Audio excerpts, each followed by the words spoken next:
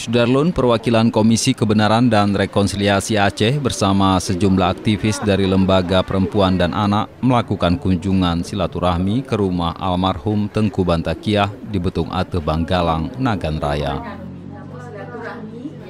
Rombongan yang dipimpin Komisioner KKR Aceh Ainal Mardiah ini disambut oleh istri dan anak almarhum.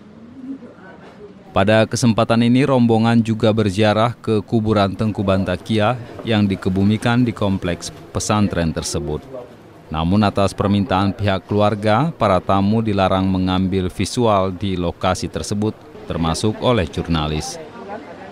Tengku Bantakiah dikebumikan secara massal bersama 63 santrinya yang menjadi korban konflik atau tragedi 23 Juli 1999 silam.